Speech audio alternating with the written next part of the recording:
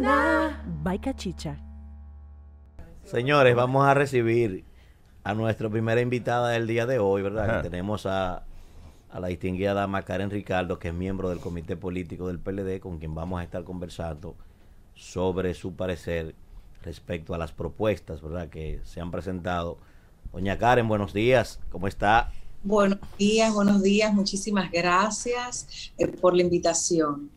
Es un placer, Karen, estar que esté aquí con nosotros. Karen, quisiéramos comenzar preguntándole eh, su parecer, primero, no de las propuestas, sino de el llamado, la voluntad del presidente para hacer un llamado a todo el liderazgo político y a las fuerzas vivas también, que están allí en el medio del set, del CES, perdón. ¿Cómo usted valora esta iniciativa? Una iniciativa, digamos, un tanto atípica en la República Dominicana, donde la mayoría de los presidentes casi siempre quieren manejar el Estado solamente con su equipo político, él, me parece a mí, no sé, que es una decisión loable, ¿verdad? El hecho de, convocar al liderazgo político para buscar eh, ideas, propuestas a los problemas estructurales del país. Primero, su valoración de esa iniciativa y después entonces entramos en materia con los detalles de las propuestas.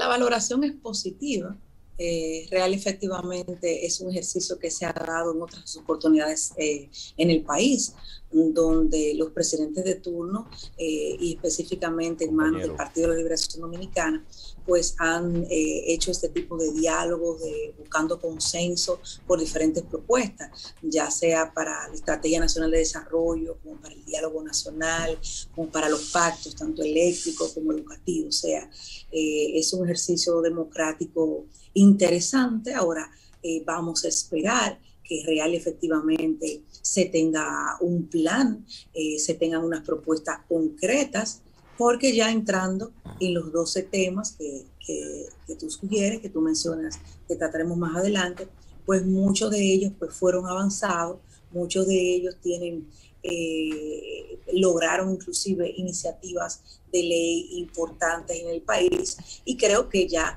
corresponde al administrativo, pues dar seguimiento, apoyo y soporte a esas iniciativas ya iniciadas anteriormente.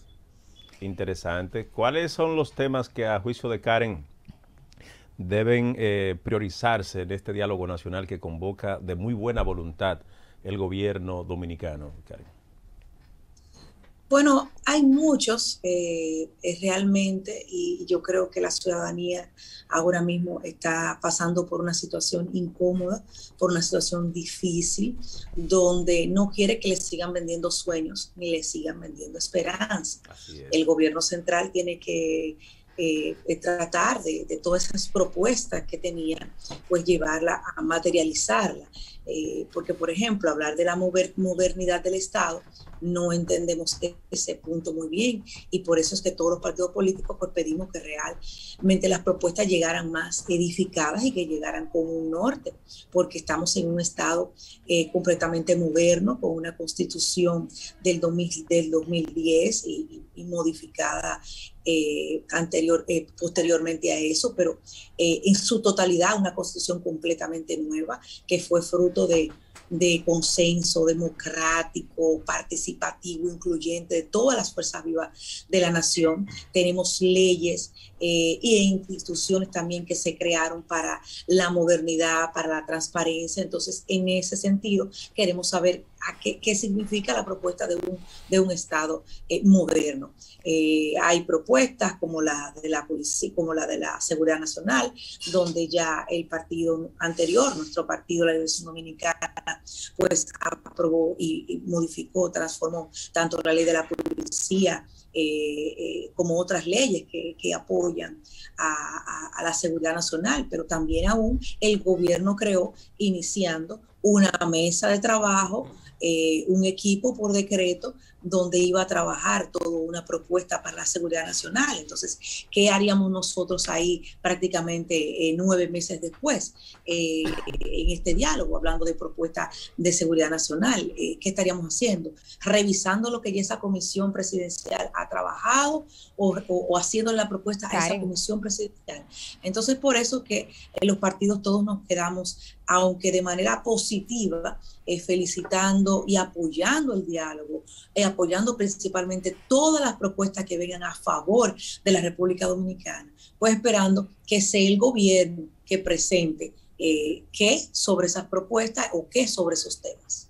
Karen, un placer tenerte por acá, Eduardo Andújar. Gracias por acompañarnos. tenía tiempecito que no, no te veía. Em, quería preguntarte, em, hay un tema que está muy en boga, tú fuiste legisladora eh, nosotros tenemos, digamos, una mm, eh, ley de seguridad social que nos hemos dado cuenta en el devenir del tiempo, que, o en el transcurrir, mejor dicho, del tiempo, que hay falencias, que hay escollos que no benefician a quienes se supone el Estado debe proteger. Ahora mismo tenemos el debate del 30%, de si se entrega no se entrega. Eh, tenemos el debate de las ARS, de que si cubren o no cubren. Tenemos el debate de eh, las pensiones, eh, que al final de la vida productiva de las personas resulta que lo que, lo que van a recibir van a ser miserias. ¿Qué eh, piensa Karen de todas estas situaciones que afectan realmente a la vida del ciudadano de a pie, a las condiciones de vida del ciudadano de a pie? Mire, por eso es que hacemos esta, esta reflexión un poco, un poco amplia a su, a su pregunta. Y es la, la siguiente. Cuando los gobiernos comienzan a trabajar sin un plan, ocurren estas situaciones que lamentablemente afectan toda la población. Eh, esta crisis económica, esta inflación y, la gente no saber hacia dónde va. Haber cancelado una cantidad impresionante de dominicanos y dominicanas y a esta altura de juego ni siquiera eh, darle sus prestaciones laborales crea un estado de inseguridad para todo el que trabaja, para todo el que, el que entiende que ha ahorrado, para todo el que se siente que, que está desprotegido por el gobierno central. Y entonces esas son de las situaciones que hoy eh, eh, tienen a la población en una incertidumbre. ¿Qué nosotros proponemos como nueva generación de políticos en la República Dominicana? Pues que cuando un partido quiera ir al gobierno, pues esté preparado de lo que es el Estado, que sepa lo que es la continuidad del Estado y que lo que es positivo, pues lo mantenga y lo que entienda que siempre hay posibilidades de mejora, que deba transformar, pues lo transforme. En, el caso, lamentablemente, del PRM, llegó por una ola, una ola eh, justificada y también injustificada de querer cambios y transformaciones en la sociedad dominicana, pero para mejor, no, no al revés. Entonces, ¿qué pasó? Eh, se montó en una campaña publicitaria y todavía sigue en esa campaña publicitaria. ¿Y qué está pasando hoy con la sociedad dominicana? Porque le vendieron un sueño. Eh, y los dominicanos se durmieron ese sueño. En ese sentido, me gustaría escuchar tu parecer. Y se dando cuenta que era simplemente un sueño. El dominicano y la dominicana estaba viviendo realidades. Bueno. Estaba viviendo transparencia que la que hay ahora y sin embargo estaba reclamando transparencia, estaba exigiendo eh, condiciones y mejorías y ahora no tiene ni siquiera las condiciones básicas que estaba teniendo anteriormente. Entonces, nosotros no apostamos a un fracaso de este gobierno, todo lo contrario. Nosotros queremos que este gobierno, pues real y efectivamente, se apoye en las políticas públicas que el Partido de la Liberación Dominicana durante 16 años construyó a favor de la transparencia y de la modernidad del Estado. Karen. no solamente que la reconozca, sino que también pueda darle seguimiento y si entiende que hay posibilidades de mejora, en muchos casos, como siempre puede haber, pues que lo haga. Si va a cambiar el personal, porque entienda que tiene que buscar compañeros del partido, pues por lo menos que lo entrene y que lo prepare con lo que están y no que haga, eh, continúe esa práctica de de cancelar los técnicos especialistas, que el Estado dominicano, que somos todos nosotros, que no le pertenece a un partido político, ha formado con nuestros impuestos para la mejoría del pueblo dominicano.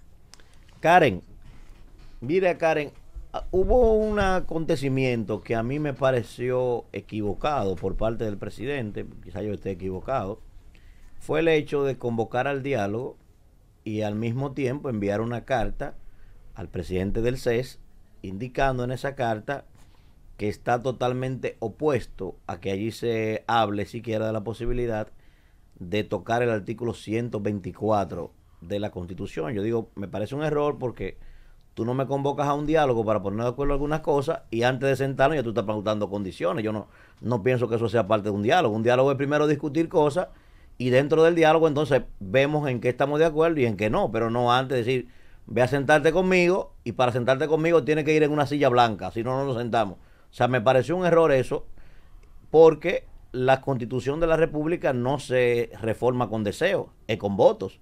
Y la realidad es que el presidente hoy y el partido de gobierno no tienen los votos suficientes para poder reformarla, necesitan el acuerdo de todos. Entonces, pero esa es mi idea, Karen. Quisiera saber ustedes en el PLD cómo valoraron esto, esta iniciativa del presidente de decir que está totalmente opuesto a que ese artículo se toque, si yo sé que ustedes tienen una realidad que quizás quisieran eh, debatir sobre ese tema en, medio de la discusión. Me gustaría tu opinión. Ahí es que vuelvo y le menciono un poco la respuesta anterior. Cuando usted quiere ir a un lugar, por lo menos tiene que tener claro para dónde usted va y qué usted quiere hacer en ese lugar. El pueblo, el soberano es quien pone a los presidentes. La constitución de la República, la Carta Magna, pues tiene que ser fruto de, lo que el soberano ha decidido. Los legisladores en ese caso son los que tienen eh, ahí la potestad de modificar o de transformar por cualquier propuesta que pueda venir ya desde el Ejecutivo o de cualquier fuerza viva representada en el Congreso Nacional.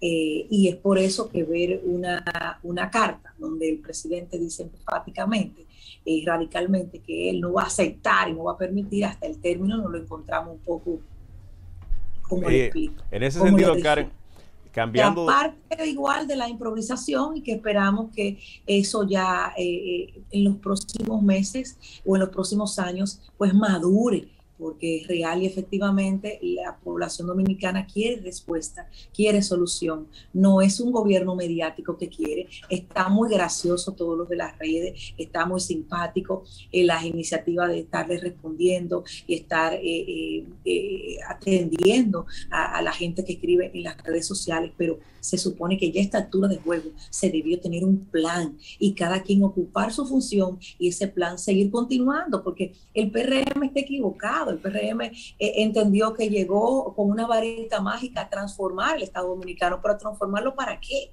a transformarle qué, o específicamente, a transformarlo realmente para bien, a, cambiar qué. O sea, cuando usted propone y vende un cambio, usted tiene que ver qué es lo que va a cambiar y cómo lo va a cambiar no simplemente decir voy a cambiar y este es el gobierno del cambio, pero del cambio cómo, para adelante o el cambio para atrás. Mire, oiga, pero está muy fuerte su discurso, compañera. Es la, oiga, pero, es que eh, eh, eh, como es una ciudadana que le está hablando, que está viendo. Como dice. Como ciudadana quiero preguntarle lo siguiente. Como dice Danira, la reversa es un cambio. Quiero preguntarle lo siguiente, ciudadana. ver su parecer a propósito de la gestión que está haciendo en su comunidad el alcalde Manuel Jiménez y la gestión que está haciendo en la Dirección de Programas Especiales de la Presidencia el señor Leonel Neney Cabrera, quien le sustituyó al cargo. Bueno, ¿qué le digo de mi amado municipio Santo Domingo Este? Pasando una de las crisis más grandes de la historia, no solamente eh, con el tema de la basura, porque un gobierno local no está única y exclusivamente para eh, eh, botarla y recoger la basura. Se supone que, es para muchas cosas, un gobierno local, como su nombre lo, indica. Tanto afán, tantas huelgas, tantas protestas, tanto eh, recorrer el sentir supuestamente de un municipio el más pujante, el más grande, el, de, el de más avance de la República Dominicana eh, y llevarlo todo a una misma voz de querer un alcalde con propuesta y de repente encontrar esto todavía a un año y pico de, ser electo. No está en Manuel Jiménez ese alcalde, Karen, no está en Manuel Jiménez ese alcalde que puede transformar al principal municipio del país. Dicen que Manuel Jiménez, salvo ese temita que usted abordaba de la basura, está haciendo buena gestión. ¿Usted acaba de llegar o...? Él estaba en Suiza, él estaba en Suiza, Karen. no, pero allá, allá llegan las redes. información. Karen, la gestión de Nene, ¿cómo va Nene? No, no, que estamos estamos eh, eh, agradecidos de que el gobierno haya acudido al llamado eh, de la población, del reiterado llamado a la población a que por favor intervenga el municipio de Santo Domingo Este. Y antes se tenía un plan, un plan de desarrollo municipal que es, desarrolló, que, que que creó, que apoyó nuestro alcalde Ido de Tiempo, Juan de los Santos, en que participamos todos los legisladores, los regidores, las fuerzas vivas del municipio, y donde tenía un principio y un fin, donde trabajaba todo lo que era cultura, todo lo que era educación ciudadana, todo lo que era tránsito, lo que era transparente, los impuestos, eh, los arbitrios de la alcaldía, el plan de modernidad de las principales vías, o sea, no era una improvisación. ¿Por qué no apoyar? En un plan y poder, y poder querer venir a descartar todo lo que se ha hecho. Entonces, para venir a improvisar y, venir a, envolver en una, el municipio más importante del país, con el respeto de los demás, pero así lo es, venir a convertirlo en, esto que está convertido en el día de hoy, eh, en, una amargura, en, en una frustración, en un atraso y que lamentablemente estamos esperando todavía, eh, eh, porque no le hemos puesto a la disposición el Partido de la Liberación Dominicana en múltiples ocasiones se le ha puesto a su disposición con los planes que nosotros llevamos a cabo, con inclusive las posibilidades de mejoras que propusimos a este plan de desarrollo municipal que ejecutó el PLD en sus, en, sus años en la alcaldía. Y mire que la gente se quejaba del anterior alcalde y de una manera impresionante está el, el, municipio de Santo Domingo Este reivindicando y resaltando qué diferente era antes y cómo es ahora. No ha querido hablar de Nene Cabrera en la Propet, el excelente trabajo que está haciendo ahí al frente, porque se ve, porque se nota, porque no somos ciegos, somos ciudadanos conscientes. Y Karen, como, como ciudadana consciente que estuvo al frente de esa institución, me gustaría que evalúe el antes y el después de la fotos.